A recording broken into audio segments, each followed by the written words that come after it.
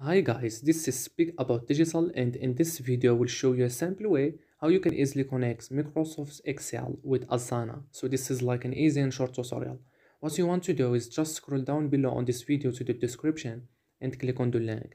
Then you are gonna come across to this page, Make. And Make is a powerful integration platform that would allow you to connect different apps without having to write a single line of code.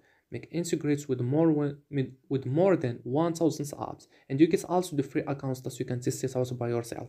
Okay so the first thing to do is just sign up to make. It's easy as just filling these forms or you can also sign up using your google accounts facebook accounts github accounts. And after that this is your dashboard. Now you want to click this create new scenario button. Right here on the top right and here you are.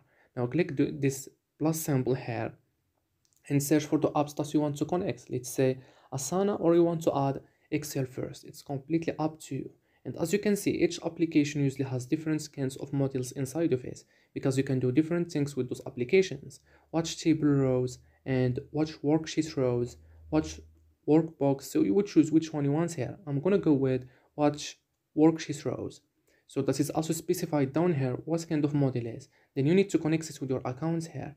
And after that, click the plus icon here and just search for Asana. I'm gonna add Asana here, Asana. And let's say you want to get a task, delete a task, duplicate a task. So you would choose which one you want here. I'm gonna go with create a task or a subtask. Then you need to connect it with your account here. So this is like create an Asana tasks automatically when a new row is added to your Microsoft Excel worksheet. On the bottom left, you can easily run it once and test it out. On the bottom, you can save it. Over here, you find templates. I find this a really cool place to get some inspiration of what is possible. For example, over here, I could search by an app. I could say, okay, give me all the templates that contain a Asana module. Down here, you see all kinds of things that are possible. You can use them as they are or customize them to suit your needs. You can also add Microsoft Excel here. I did it and I found like five templates. You can use them if they meet your needs.